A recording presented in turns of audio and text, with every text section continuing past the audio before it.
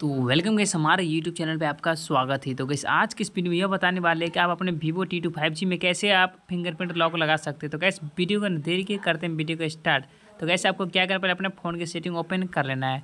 Phone की setting open करने में कुछ इस तरह का इंटरफेस खुल के आता है, जो कि आपके अलग अलग फ़ोन को होगा तो अलग भी सेटिंग आ रहा होगा, ठीक है?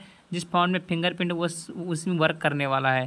उसके बाद क्या करना है, यहाँ पर आपको सीधा नीचे स्क्रॉल करना है। स्क्रॉल नीचे करने के बाद यहाँ पर आपको एक ऑप्शन मिलता है, यहाँ पर सिक्योरिटी का ऑप्शन इस पर एक बार क्लिक कर लेना है। क्लिक करने के बाद यहाँ पर स्क्रीन लॉक आएगा। जब क्या आप, आपका जब न्यू फ़ोन आता है, यहाँ पर स्क्रीन लॉक पहले आपको सेट करना था आप स्क्रीन लॉक पहले अपना सेट कर लीजिएगा। जो भी अपना पिन डाल कर यहाँ पर डायरेक्ट इंटर कर देना है। उसके बाद क्या करना बैक आना है, उसके नीचे आपको ऑप्शन एक मिल जाएगा, फिंगरप्रिंट का ऑप्शन। उस पर फिंगरप्रिंट ऑप्शन ऑप्शन पर क्लिक कर लेना है। जो भी इंटर लॉक स्क्रीन लॉक होगा, उसको यहाँ पर इंटर कर लेना है। जैसे मैं अपना अभी इंटर कर लेता हूँ, और उसके बाद यहाँ से आपको कुछ इस तरह का एक इंटरफेस आता है। उसके बाद क्या करना है, यहाँ पर नीचे स्क्रॉल करना है, उसके बाद यहाँ पर मिलेगा ऐड फिंगरप्रिंट।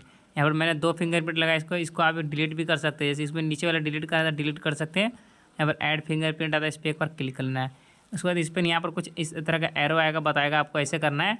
उसको यहाँ पर स्टार्ट नाउ का ऑप्शन मिलेगा स्टार्ट पर क्लिक कर लेना है। स्टार्ट पर क्लिक करने के बाद यहाँ अपना अपना फिंगरप्रिंट ऐड कर लेना है।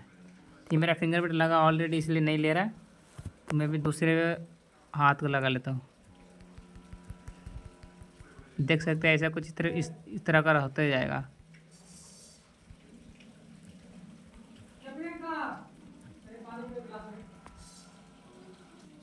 इसको जैसे यहाँ पर आपको धीरे धीरे स्क्रॉल को पूरा करना है, उसके बाद पूरा करने के बाद यहाँ पर डन का ऑप्शन है डन पर क्लिक करना है, उसके बाद आप जब भी लॉक खोलिएगा वर्क करने लगेगा। आई होप सब लोग वीडियो समझ गए मिलते हैं अपने नेक्स्ट वीडियो तब तक लिए बाय